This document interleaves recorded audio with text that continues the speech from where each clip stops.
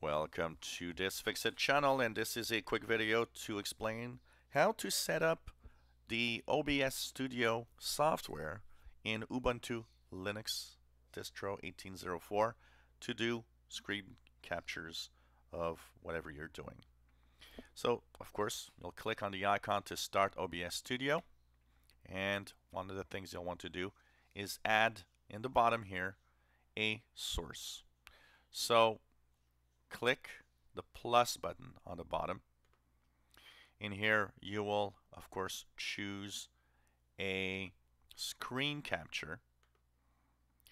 You'll give it a name. So say here, I'm going to call it screen capture test and click OK.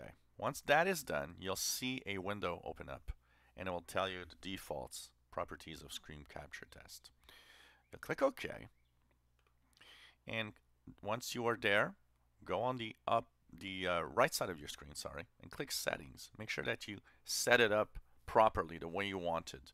So for the uh, audio you'll want to choose the proper audio uh, of your computer. So for example in my case I would choose my USB uh, audio device. Then you have video. This is the other place where you're going to choose what you're going to do. So by default, it's the same as your own resolution. So uh, what's happening basically is that OBS Studio always already sets it so that it will use whatever resolution your screen is at. So mine is at 16 by 900. That's why it's choosing that.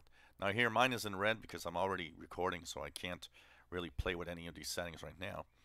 But once you click apply and once you click OK, you'll have set up everything you need. That means that um, once you are on your screen capture, you should see that your pointer moves in that little display that looks really like looking in, in, in multiple mirrors.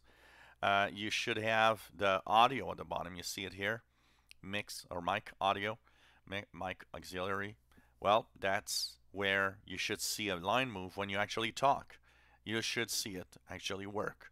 So that's the thing that you'll need to check out. Once that is done, it means you'll be able to um, screen record.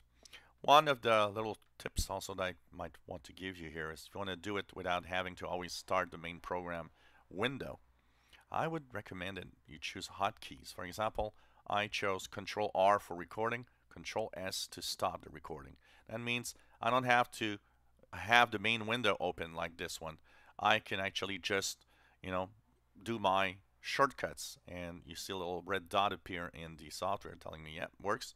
And when I stop, I just do Control S and it stops. Of course, you'll choose shortcuts that don't interfere with whatever software or whatever you're doing because sometimes these hotkeys might be used by a software. So it's easy as that. If you enjoy my videos, please subscribe, give us thumbs up. Thank you for watching.